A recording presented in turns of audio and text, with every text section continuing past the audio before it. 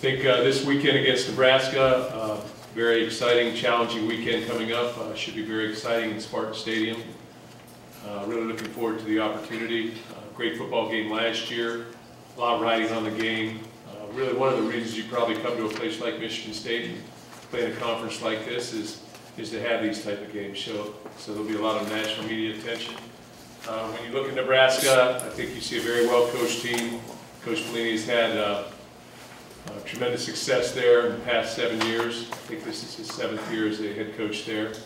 He's um, won nine games, I think, the previous six years, at the very least. So a lot of success, uh, great, great football players, great football team. Obviously, the offense is anchored by, by Ameer Abdullah and um, Kenny Bell, Tommy Armstrong defensively, uh, Gregory and uh, Santos probably. So um, challenge, we'll have to be at our best expect us to be at our best, um, and we'll focus on energy. So I'll take questions. If you'll raise your hand for the microphones.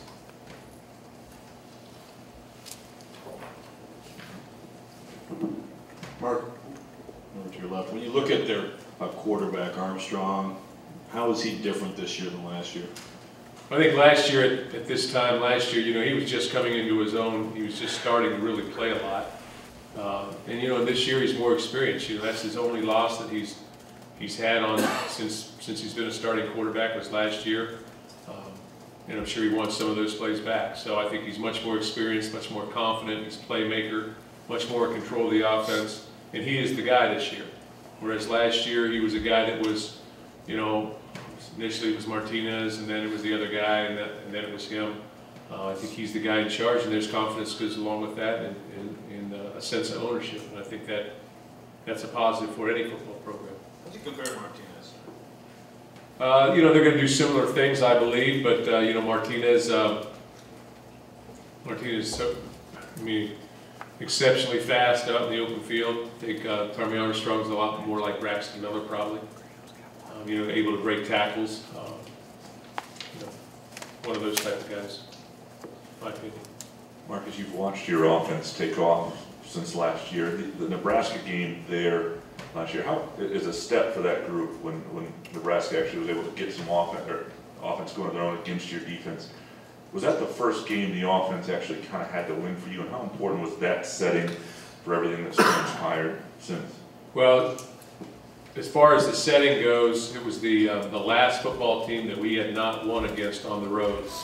Um, So we accomplished that feat, and that was one of the things that we needed to do, I think, as a program. So you looked at us, you know, it was a program win, because we needed to go to a place like Nebraska, where we didn't have a lot of fans in the stands, and they had a ton, and be able to play and play well, and that was accomplished. Uh, Offensively, we were starting to click, and, uh, you know, I think we we, we saw that, felt that, but we got great field position from our defense. And, yeah, they hit a couple plays, they hit two, two, you know, a long run, uh, hit a couple plays, but, um, on us offensively, but, you know, the turnovers that we were able to acquire really were, you know, had a lot to do with, I think, the game. Um, Would have been a much closer game. It was still a close game, but, but it would have been even a much more closer game, you know, series in, series out, I think, beyond that. So, good football team, they know how to run the ball. Interesting enough, they run the ball very, very well. And um, they play, play pass defense very, very well. So it's a little bit interesting, you know, when you, when you look at that aspect of them on defense, you know, they're very highly ranked in passing efficiency and have been uh, throughout the years, and then they've always been able to run the football. Coach, would you mind just describing Curtis Drummond's leadership on the defense this year, how he's uh, kind of evolved into that role? Yeah, Curtis is a quiet leader, but uh, confident. Uh, Much like a coach on the field, there's a lot of things that he's experienced in his, in his five years here as a player. He's experienced being redshirted, so he understands how the freshmen feel. He's experienced being the nickelback um, in 2011 and coming in and out of the game and playing on all the special teams, so he can, he can, um, he understands how those guys are feeling. And then he's been a starter, and he's understood the pressures that come with being a starter and playing at the highest level. He's been an all Big Ten player. Um, you know, he's been a catalyst for our defense and a catalyst for our secondary. And, uh, you know, he's a, he's a player, player coach really. And, you know, he has great relationships with our coaches as well. Uh, outstanding young man and, uh, you know, everything that you want in terms of uh, a player, a work ethic guy, preparation off the field, and uh, really a good person. Mark, you've only played him three times, but it seems like they've been really intense and uh, go back to the game with maybe your most gut wrenching loss here. Is this quickly becoming a rival of yours? I think we have a lot of rivals, I guess, in this conference, you know, because there's a lot of games like that, but, but uh, they've been great football games, you know, the one in 2012, you know, the one in 2011, I don't think we played up to our abilities. Um, had very high hopes going into that game, but didn't play well enough. Um, But 12, we came to play, it's a great football game, you know, don't really want to rehash some of that, but, uh, and then 13 last year, also a great football game, and you know, two competitive football teams, two teams that don't like to lose, don't want to lose, nobody does, but uh, that play with a lot of effort, play with a lot of toughness, play with a lot of desire, and you see that on the field. Up tempo, um, but you see that you can feel the adrenaline, you can feel the emotion from both football teams. Whenever you go, you can feel the emotion, and that's exciting, and that's what makes college football um, so great, so unique. Mark, when you look at, at these two programs, historically, both you and- and Bo are defensive guys, but the offenses this year have been leading the way and scoring a lot of points. Why is that? And is that out of the norm, and do you expect a kind of a high-scoring shootout here? Uh, Is that out of the norm? It doesn't seem like it's out of the norm in this day and age in, in college football. There are so many different ways um, that people are lining up and creating motion and creating different formations, and it's, it's sort of cutting edge. Uh, You see that from our offense as well. You see a lot of different ways to do things. I think offenses right now are keeping things simple but comprehensive, which that's what I've always believed as a defensive coach. Um, Comprehensive to the extent that you're very difficult to prepare for, simple it to the, to the effect that these are the concepts we run and we try and expand on those concepts. They've got great players, I'm talking about a lot of offenses now. Um, They have great players at the skilled positions. Many people are using those skilled position players to run the football as well as to catch it. Um, Throwers run it as well as throw it, and running backs seem to run it and catch it. So um, the versatility of all the, all the offensive skill players really, really is being used, I think, by coaches across this country. Coach, I uh, th- think you're eight and two in your career at uh, home right here. Uh, night games. Uh, is there a different atmosphere or something that uh, comes to the night games rather than, let's say, a noon game against Wyoming? Yeah, you know, Spartan Stadium comes alive uh, every Saturday, but I think especially at night games. You know, and I can remember the night games when I was here before, you know, and whether it be Notre Dame or, or, you know, Oregon or whatever, whatever it was. I mean, they're exciting games. Um, We've had a lot of exciting games here um, since we've been, since I've been back as a head football coach. And um, I just think, you know, you sit all day, it's hard to sit, it's hard to sit all day. But as you sit all day on Saturday afternoon, you're seeing all these different games being played. And your game's being talked about, and you just can't help but, but get a little hyped. Uh, and then you, I think that, that same thing happens to your fans. Um, it's a big game, it's gonna be very loud in there, especially when they have the ball. And, uh, hopefully. And, uh, should be an exciting atmosphere, It should be a great atmosphere, and, you know, it's a program game, I think, you know, when you, you have that opportunity like that, to put, uh, you on a big stage, which makes it exciting. Coach, still in the back. Um, You open the season with a game against Oregon, a very tough team. Uh, Then you go with two, we'll say, less tough teams. How does that contrast affect your team going into the Big Ten season? You know, we played who's in front of us, I've I've talked about that before, I think it's important that we focus and, and pay everybody respect and get ready to play them, and that's what we've done. Um, You know, so this is the next one up, there'll be one after this one, so our, our focus has gotta be to bring every, energy every single game and treat them all the same, and then play as enthusiastically as we can. I think certainly the competition level is gonna be higher, uh, we expect that, we acknowledge that, uh, But we've played in those environments before, and, uh, you know, it'll be a great test for us. Great challenge, and, and again, it goes back to what I talked about last week. We'll start to develop an identity, and I think that's, a- that's a step. That's a step in every season that you have to take. You have to figure out, this is our identity, this is who we are a little bit more. You find out a little bit more about, about our football team until, until you finally, at the end of the, uh, the season, you sort of come to some conclusions generally. Mark, can you talk about your policies and protocol within the department when it comes to head trauma and head injuries for players? What, what situations happen on the sidelines that you guys go through? And, and other folks have been bringing up a Will Gholston situation from 2012, uh, where he said he got knocked out. Where do you trust where a player says versus what the medical staff says? Uh, First of all, we have a neurologist on the sidelines, Dr. David Kaufman, and then Dr. Randy Pearson is also, has extensive concussion um, um, research and things of that nature. So we rely on our medical staff. As a coach, I've also sat in three and a half hour concussion symposium um, from a leading expert in the country.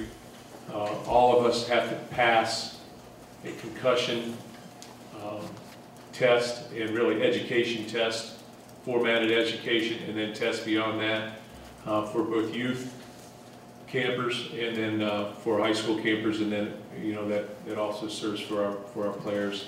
Um, We're not gonna put anybody in the game that we think is at risk. I can't comment on, on the Will Gholston thing because I can't, I'm not sure when that happened, but we established a baseline for every player when they walk in the door. Uh, And that baseline then is, uh, is given, that baseline test is given to a young man who has um, got a possible concussion. And that's called an impact test. And that impact test basically talks to the relevance of the concussion. The, I know the younger a player is, even a true freshman, um, it takes longer for them to get over a concussion than, let's say, a senior, a fifth-year senior. So there is a correlation between the age of a young person.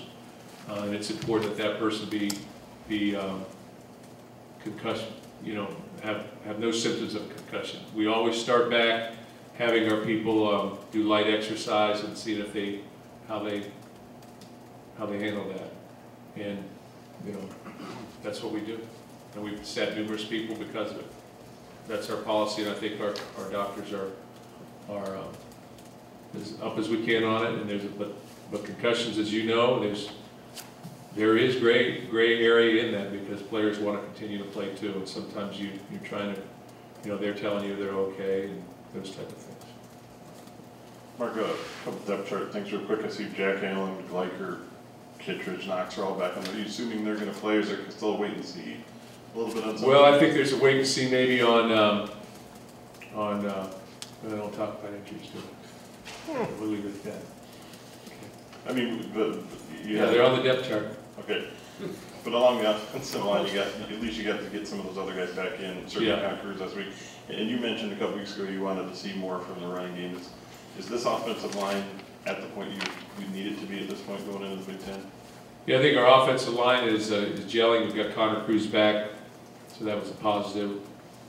And that gives us more depth, experience, when I say more depth, I mean starting depth on our offensive line, so, uh, you know, but again, things are so wrapped up in is how the wide receivers block, how the tight ends block, if we have a fullback in the game, how he blocks, um, how we take stress off the, off the offense by doing different things, you know, relative to formations like I just talked about. So there's a lot of things to running the football.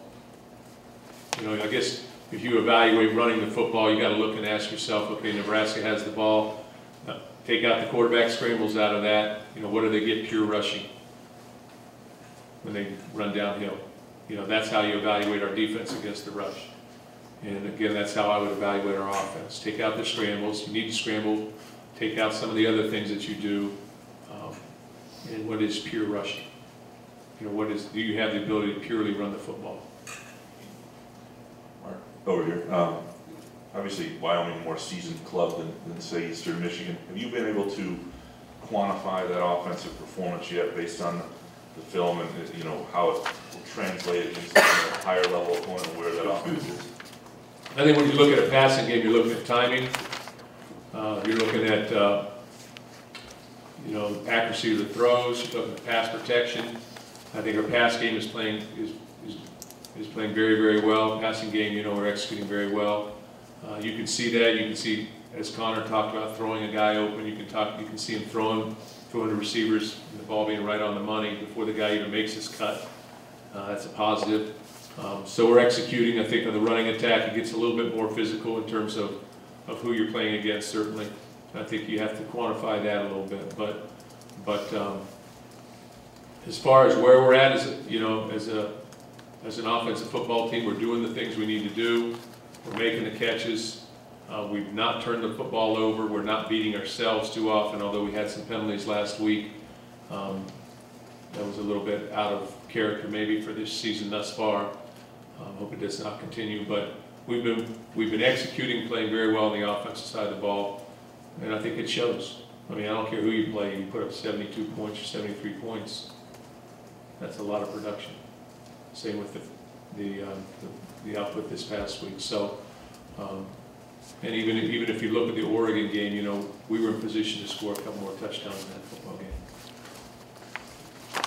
Coach, uh, the other side of the ball, the defense, I know we talked a little bit about that after the last game and- and big plays. I guess I'd like to know um, where you think the defense is, is headed from here. Can it end up being as good as last year's? Is there still time for that? And then my other question is, you were on those Michigan State staffs um, that that suffered some pretty horrendous losses to Nebraska. I wonder as a coach if you ever forget that, or when you're a defensive coach, when a team puts 50 on you, if that's something that always kind of stays with you. Oh, yeah, it always stays with you. But I have to tell you that I was at Kansas before I came here, so, um, you know, we just refer to it as the big red machine in my house at that point in time, so. um, But yeah, the- our first, our first game here and as a staff in 1995, we played Nebraska with Tommie Frazier and Lawrence Phillips. and, uh, um, You know, it was quite a football team, so. As far as uh, our defense is concerned, I think that um, my feelings are that the things that, when things happen and there is a breakdown, it's about, it's about how we get it fixed. Do we get it fixed with personnel? Do we get it fixed with structure? Do we get it fixed with coaching on the sideline? Those type of things, and I think that um, it's very apparent that we have the ability to do those things. We've done it in the past. Um, Our defense is not broke. I know that we gave up 14 whopping points last week, but, um, you know, our defense is not broke. I mean, we still have, I think, the second ranked defense the- against the run in the, in the conference, and I think we're number four in the nation. Uh, I'm not sure where we are in points production wise, but, but, um, you know, we have a breakdown, we've got to fix it. But this is modern day football. It's extremely uncommon, you know, for, um, for teams to give up, you know, to shut people out or to, to give up one touchdown to win games, you know, twenty to seven. That's extremely uncommon these days. Uh, so, you know, last year's defense uh, set the bar very high. The expect, expectations are very high. There's expectations from our coaching staff and from our players to be, to be that dominant. Okay, but we have to play ourselves to that position. And every game's a new challenge. It presents new challenges with new formations and new players, and new concepts to deal with. And it's how you change every week that really, you know, is going to uh, uh, define you, I guess is what I'd say. And then you have the physical part of it, the tackling, playing the ball in deep part of the field, you know, coverage aspects, but um, you have the physical aspect of it that you have to be able to, to, to deal with as well. Just to, Excuse fo- me. So I hope I'm answering it, but yeah, I think we can be as good. and just to, to follow up on that, that first part of- about Nebraska and your time at, at Kansas, how big of a step, you've talked about taking steps in this program and, and first, how big of a step would it be to, to be the first Michigan State team to beat Nebraska in, in consecutive years against a program like that, I guess? Oh, yeah, it's, it's gonna be a, it's a big football game for us, period. I think it's not so much Nebraska is, is it's winning our first Big Ten game, it's, it's uh, going to four and one as much as anything. We have great challenges down the road. Um, We have a great program. Um, So we're gonna see how we play. But it's gonna be very exciting. We need to drive it home.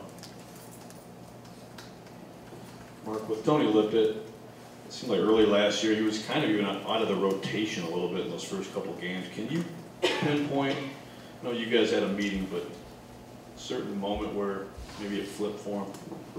Yeah, I do think it flipped on, uh, I do flip, it flipped after the the Notre Dame game, I believe. I remember, and then he started catching the ball very well, and he's just such a confident player right now.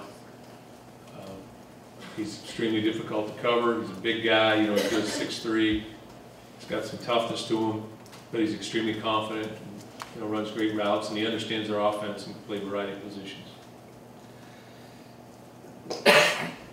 Mark, when you, when you look at your offense and the time of possession versus the points scored, that shows that the efficiency that you guys are working with right now. Uh, it, that's also rare though in this day and age, because usually you see the up and down. I mean, talk about the ball control that this offense has proven while also scoring the points. Yeah, you know, it's two, it's, it's two, it's two-headed type thing, you know, I mean, we still are getting people off the field, three and out. That's still occurring, you know, even last week, it was five times three and out. Uh, you can look at, uh, even the Oregon game, I think we went five straight times three and out. So that's getting the ball back to our offense, and our offense is able to control the football. Converting on third downs, the ability to run the ball, stay balanced, those type of things also, I think, plays into this, in the execution, but, um, it is big, especially now, we, we have the ability to go up tempo, but we're more of a, you know, we're still, we're still huddling, so that means a little bit more possession time that comes with that. But uh, we're, we're playing a significant amount of plays every week, and that's the bottom line, you know, how many plays are you putting on the field, so whether it's 82 or 90, you know, we're playing to that level, which I think last week maybe uh, Nebraska 96 against Illinois. Um, so, you know, we're up in the 80s, high 80s or 90s. Mark, the, uh, some of the different offensive stuff we saw on Saturday with just getting wide outs the ball in different ways and also on the touchdown pass to Price. Um, I'm not asking you to go into great detail here, but just how long has that kind of been in the works and, and how did you guys go about, uh, putting that in? Uh, that's been in the, that's been in the works for a while. We've done some of those things since the spring. We're constantly trying to develop new ways and new looks, and those type of things. And I think, quite frankly, I think Jim Bollman and bringing Jim Bollman back here uh, to Michigan State has added in that capacity. You know, he's a guy that has had extensive uh, knowledge of quarterback runs with Pryor being down at Ohio State. Those type of people that they've had down there. Um, And I think that, you know, he's brought some of that with him, and he's been a great addition to this, to this staff. Uh, But all of our offensive coaches added this, and, uh, you know, they're, they're doing a tremendous job. And also, uh, real quick, do you expect Montez Sweat to redshirt at this point? Uh, I'm not sure, it'll, we'll have to see, because we've got the ability to go until six games before we have to make decisions of that nature. I mean, you know, he hasn't played, the, the rules are you can't play in four games, so, you know, he has that ability, but we have to see how his, his injury status is, basically. Mark, when it comes to playing starters the first few weeks, I guess specifically probably Connor and and Jeremy mostly, um, I feel like in the past it's been a, an issue to get some of those backups in. Was that a change in your, your thought process this year, or was it just a case of that's how the game's kind of played out, so you got to get backups in a lot more? Well, the game's played out that way, but also, we tried to force the issue, especially the first game. And really, I mean, this last game forced the issue as well. I just feel like when they go in and the game is not over, that there's more, um, there's more pressure on them to play well.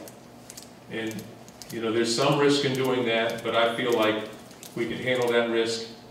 Uh, And I think it, it provides greater growth for those individuals, and you see what they've got in a little bit more crunch time, and I think that's a positive for them. And it tells them we have confidence in them as well. Just to follow up on that, didn't you say that's what helped with Connor Cook's development, when you got into some meaningful time backing up Andrew? Yeah, I did, and you know, his redshirt freshman year, um, he played, I think, in the Iowa game very, very briefly, and then, we came back in the TCU game and- and played him. I made a commitment to doing that. And, you know, it was a little scary to do it, but we made a commitment to doing that, and, and I think he excelled. He started to get better, and he started to get more confident, and I think those things carry over. 15 night games in school history, you've coached in nine of them. I don't want to overanalyze this, but have you changed the way you prepare for that? I mean, do you change your cornflakes, or what- have you learned anything from playing all these night games? Well, yeah, we look, you know, we try and, we try and pass the time and keep them busy, but um, also keep them, allow them to stay fresh. I think the big things we're trying to do is bring energy to the game and stay fresh. Um, I don't know if we're gonna have a problem with that this week, because I, I think our guys are ready to play, and I'm sure they're ready to play as well, so. So it should be very, very exciting. Coach, uh, comparing Nebraska to Oregon, are there some concepts offensively that are similar? And looking back at what Oregon did, did you, did you, did they steal anything from what they'd seen from Nebraska? I know Frost has some connections to that school. Yeah, I think there are a lot of similarities in what they've done. Uh, You know, Frost has connections, I think he visited Nebraska, probably the spring before, or whatever the case, much like all coaches do, in preparing for a new opponent. So there are similarities, you know, zone reads and things of that nature, you know, quarterback runs, you know, some option, uh, play action passes and things of that nature. So there, there is a lot of, I think there's carryover. Not a lot, you know, how much there, you know, a little bit unknown, but there is carryover. But there's, it's a different, a different personnel, which makes it a different style though too. Nebraska, some of the, the player, one of the players was saying yesterday, he felt like Michigan State would stay pretty true to form on defense, and I, I know Coach Narduzzi's spoken about doing that. Do you, is Nebraska typically a team that stays pretty true to form? I mean, is it, do you guys kind of know what to expect from one another, do you think they'll be? No, I think, I think basically both football teams know who they are and stay who they are. I really believe that. And they have a system on defense, they believe in their system, they're gonna play their, their defense. They have a system on offense, they know that, they're gonna have wrinkles, they're gonna have tweaks, but it's gonna be who they are, and uh, I think the same can be said basically for us. Um, We've had success in what we're doing, and uh, we're gonna maintain true to form, but we're gonna have tweaks, and we're gonna always have uh, adjustments and try and get better and, and do the different things that we have to do to make sure that, that we offset any of the things that they do. Mark, that's making sense. Wondering kind of how you see the offensive line rotation working out with Connor back. Does he kind of get back to that right guard starting spot eventually, does he kind of become the jack of all trades he was before? I think Connor can play offensive center, he can play guard, he can play either guard, and I think he can play right tackle. He probably can play left tackle as well, so he's a guy that can go anywhere, any place, any time. Guy has extensive knowledge of our system, and I think the one thing that Connor Kruse brings is another very strong leader on our offensive football team, a guy that understands adversity, that promotes toughness, and that um, is, um, is a guy that you want with you. He's a guy that, that you want surrounding you. Um, He's a tremendous leader for us. And I think that is, as much as anything, brings back into the, into the fold. Uh, So he just adds to our, to our group. As far as being a starter, we'll see how he's, how he's progressing this year. He played, I think, 22 plays this last week, but, so he's coming back, but he's got to get back into playing shape, and that would be the same with all those guys. Coach, is there a scenario where, where we're gonna see uh, Damion Terry's package of plays, or is that kind of uh, more for games that are a little bit less uh, close with the score? You don't really expect me to answer it. I try. Got time for two more. Uh, Mark, another uh, concussion protocol question. Uh, in terms of communication, if, if someone is diagnosed, say, like on a Sunday, what would be the expectation there in terms of the information getting to you? Uh, information comes to me, uh, immediately, directly, and, uh, they tell me that, uh, that he's got an issue and that we gotta keep him out. And then we work to try and bring him back gradually, you know, and they work through, through our weight room, you know, on treadmills or such, or lifting lightly, and then progress to, to working out heavily and then running heavily. And then when, you know, when there's, when they're cleared, and they pass their baseline test, there's no headaches, no problems, and that's when they're, they're brought back into the fold. And but then, again, they're again brought back in, limited gradually. Time for one more if we got one. just kind of along those lines again with, with the concussion situation. You, you kind of alluded to it before, but how much do you have to fight and, and the medical staff inform players when to back away? You know, when you talk about player toughness, that's, that's something that, you know, you don't, there's the whole concept of playing hurt and playing injured. How do you get them to, to, to find that line with, within themselves as players? I think it's difficult because you try and educate them, but at the same time, having played college football, there are times when you, you know, you hit somebody and you're stunned. You're stunned a little bit, and you know, you gotta, you know, clear, clear your head or whatever the case, and so, you know, guys wanna stay in. And if they, and a lot of times they feel like they can stay in, and sometimes, quite frankly, they don't tell you.